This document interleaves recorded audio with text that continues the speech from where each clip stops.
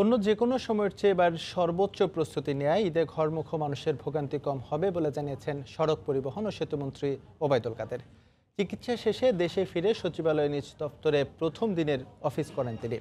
সকালে সচিবালয়ে পৌঁছালে তাকে ফুল দিয়ে স্বাগত জানান দপ্তরের কর্মকর্তা, কর্মচারীরা। এ সময় তিনি সবার সঙ্গে কুশল বিনিময় করেন এবং মন্ত্রণালয়ের সার্বিক খোঁজখবর নেন।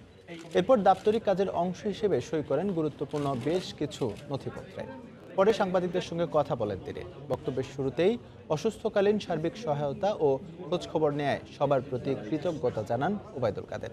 তিনি বলেন, ঢাকা থেকে উত্তরবঙ্গ এবং ঢাকা, চট্টগ্রাম মহাসড়কে এবার ঈদযাত্রা স্বস্তিদায়ক হবে। শারীরিক অসুস্থতার কারণে গত চৌঠা মার্চ চিকিৎসার জন্য সিঙ্গাপুরে নেওয়া হয় আওয়ামী লীগের সাধারণ সম্পাদক ওবায়দুল কাদেরকে।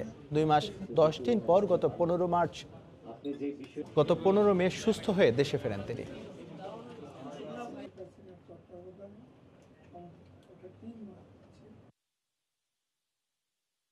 জয়দেবপুর থেকে এলেঙ্গা পর্যন্ত।